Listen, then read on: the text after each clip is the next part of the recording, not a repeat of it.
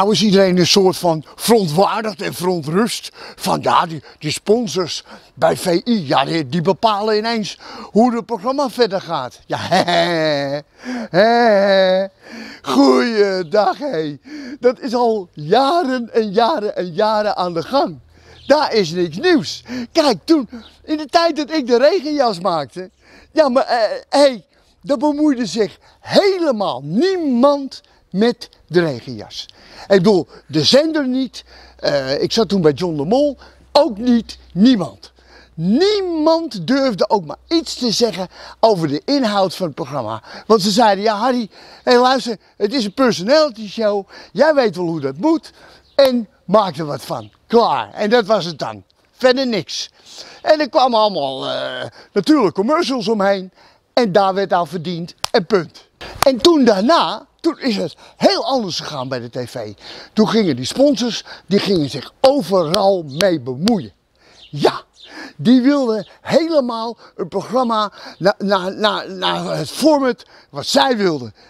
En dan moest je het nog maar zien of je er nog iets van kon bakken. Want ik weet nog dat ik kwam bij RTL. En, en, en daar was het programma Leven als een prof. Misschien dat jullie je dat nog kunnen herinneren. En, en dat was van Nivea, van Nivea voor Men. En die wilden gewoon alle gegevens hebben uit het amateurvoetbal in Nederland. Daar ging het om, die database. Dat was het enige doel. En het programma, dat interesseerde die hele Nivea geen ene malle moer. Dus het idee van leven als een prof stond al helemaal op papier, was al helemaal rond en verder niks. En toen werd ik erbij gehaald. En toen, vroegen ze aan mij, Harry, kan je hier nog iets leuks van maken? Nou, dat was, hup, en gedoe. Maar goed, dat lukte wel. Het werd een niet onaardig programma, maar daar ging het niet om. Het ging Nivea alleen om die gegevens. En dat bleek ook wel, want het heeft maar twee seizoenen gelopen. En toen zij alle datagegevens uit het Nederlandse amateurvoetbal hadden, van al die elftallen, toen trokken ze gelijk de stekker eruit. En klaar, klaar, want daar ging het om. En toen was het programma afgelopen. Zoveel invloed heeft een sponsor. Ja, en dat zien we nu terug bij VI. Want, hé, hey, nu worden ze een beetje te heet onder de voeten. Hup, en ze draaien hun rug naar het programma en ineens staat dat VI in de wind. Nou ja, wat is dat voor gedrag? Alsof VI in het verleden niet al heel veel mensen heeft afgezeken en beledigd en belachelijk heeft gemaakt. En toen hebben we die sponsors nooit gehoord. Nee, dat was allemaal oké. Daar was niks meer aan de hand. En nu is het even een beetje een moeilijk onderwerp. En is het net een verkeerde grap op een verkeerd moment. En hup, en weg zijn we als sponsor. Die invloed mogen ze nooit hebben.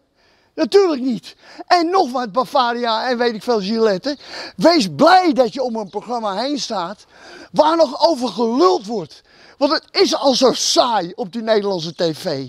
Dus wees nou blij dat je nog een programma hebt als VI.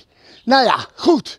Dus die invloed van een sponsor op de Nederlandse televisie is gewoon enorm groot. En daarom, en daarom vrienden, ben ik zo blij met dit kanaal, met onze eigen zender.